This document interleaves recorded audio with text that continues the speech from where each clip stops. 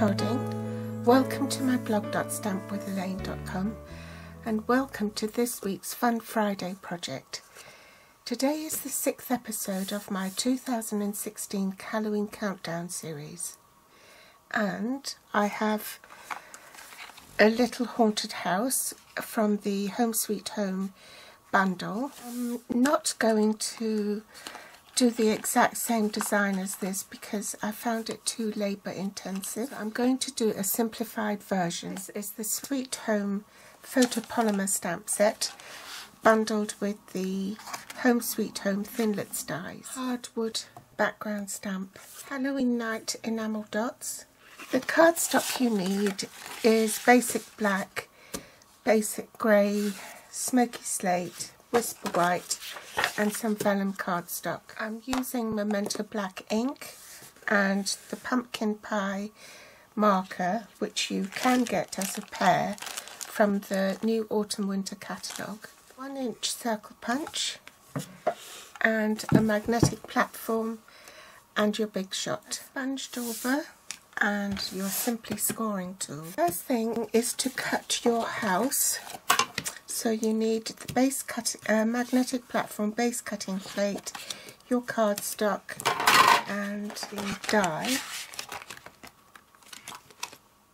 And if you put it along your paper with this straight edge parallel to the straight edge on your cardstock, you should be able to get two out of it. I also want to cut out the apertures for the windows and there is a difference between the two frames. The aperture frame is the one with only the single cutting line which is the smaller die and the frame is this bigger die with the double cutting lines, raised edges. That's the frame, this is the outer bit.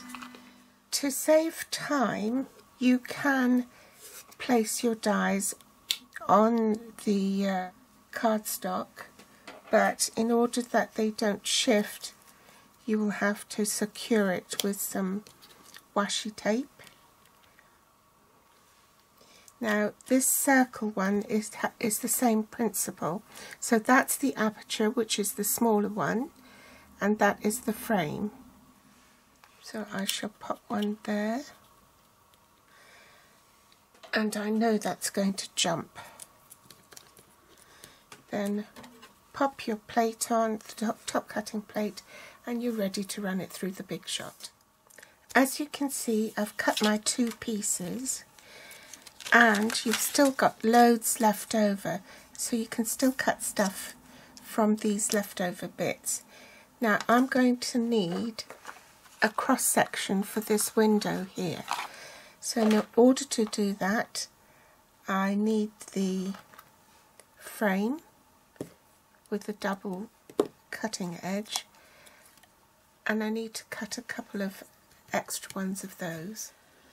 Now I want to save a bit of time doing this bit because in the original design I had one, two, three, four, five. I had cut 10 strips of roof tile and I want to cut that down. So what I'm going to do is trace round the roof line.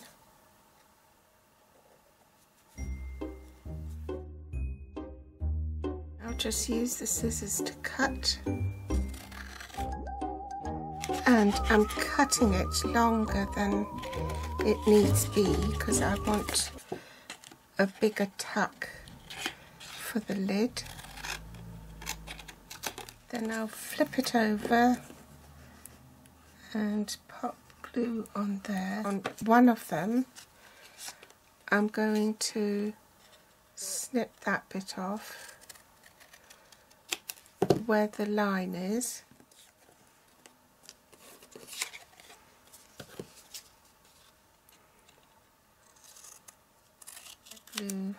To this side as well and retain the flap on one of it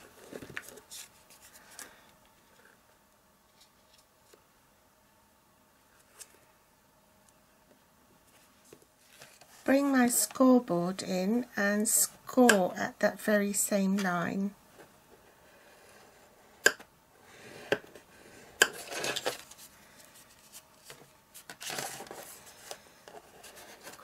These panels.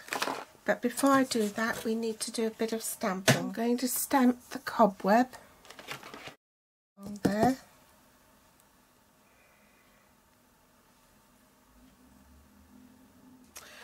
Now we're ready to do our scoring. And what you want is to use this baseline here where the um, score line for the flap is parallel or flush with the 6 inch groove of your scoreboard and we're scoring at every quarter of an inch okay and we're doing it from the inside from the reverse side. That's the outside. You want to do it on the inside. Um, because you want the score lines to show. And you only score up to the score line there. Orient this side of the house along parallel to that and then you just carry on the score lines here using the previous score line as your guide. So six, five and three quarters, five and a half, five and a quarter, every quarter of an inch, but we're counting backwards. So that's four and three quarter, four and a half, four and a quarter, four, three and three quarters, three and a half, three and a quarter, and three. Then make sure that's parallel and then use from that score line as a guide and score the rest of the way. Next use the sponge dauber and just sponge lightly and then where the raised edges are from your score lines these will pop. Next thing you do is just pop a dollop of glue on these windows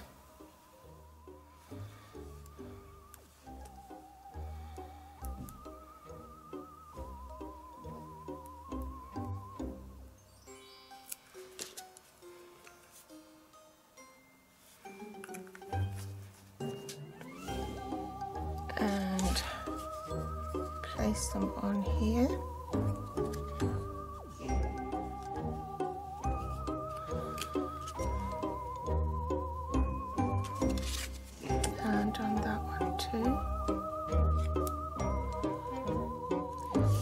See I've cut my frames with the frame dies and now I'm ready to glue those on as well.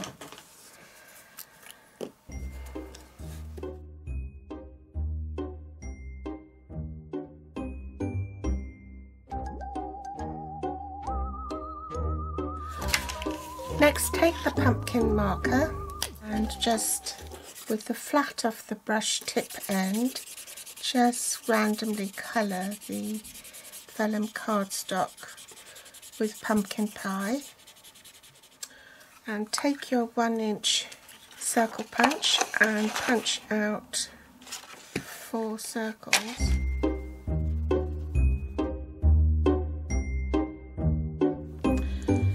Then use your snail or fast fuse just on the corners.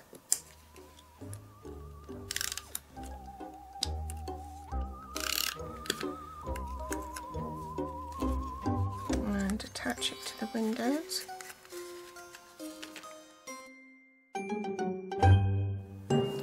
Remember that you want the coloured side face up um, and that's the bit you have here rather than the uncoloured side.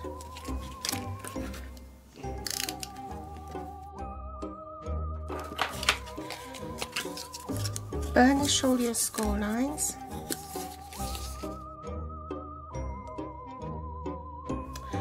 I've cut a door frame with this die here and I've also cut a door. Now I'm not making this door open so I will need to cut the rest of it by hand so that it's not hinged. Cut the hardwood stamp with Memento Black ink. Pop my door on top. Place a small pumpkin pie enamel dot for the doorknob.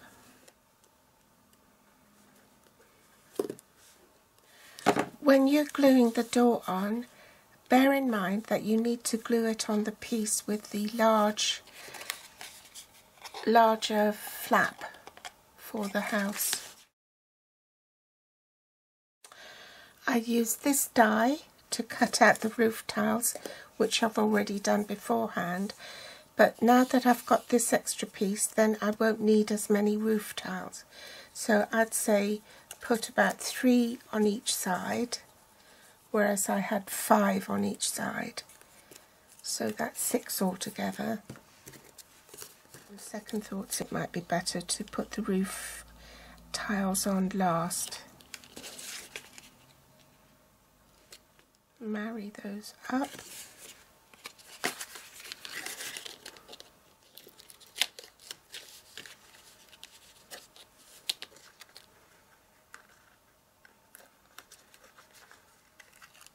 So that's the front. You want that to fold back. So you fold the back piece first. Let's take that off. Fold the back piece down on top of that. And then just a bit of Tombow on the back flap. And use something to put that down. Okay. So I've put some sticky um, double-sided tape on this side. So let's take that off.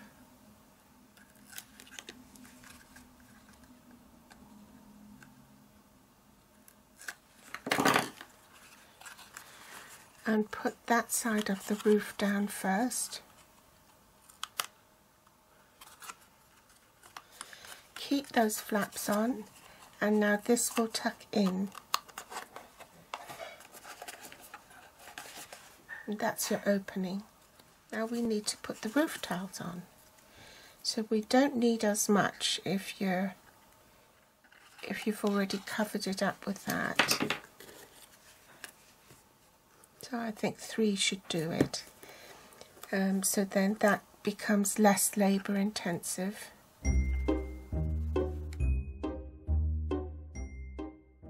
Then you're ready to do the other roof line.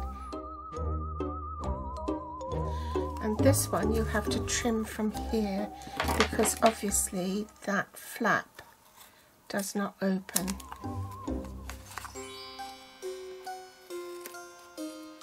last thing to do is stamp my ghost in Memento Black on the vellum cardstock and also the sentiment. Oops, I've got my scissors caught.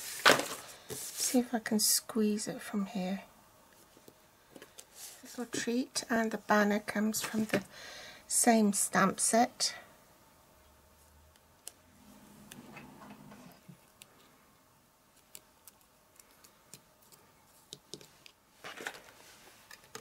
Be back in a minute at the banner. Now we can pop it on top of the house, over the door, glue dot on the ghosty, and pop him inside. And put the treats in, and there you have it. I hope you've enjoyed today's tutorial. If you like it, please give me a thumbs up, subscribe or share on Facebook and my grateful thanks if you do. If you're watching from YouTube, you'll find the list of supplies I use below this video in the Show More section with direct links to my online store. They'll also be listed here on my blog at blog.stampwithelaine.com. You can find me on Facebook, Pinterest or Instagram. Thanks for watching and I'll be back soon. Bye.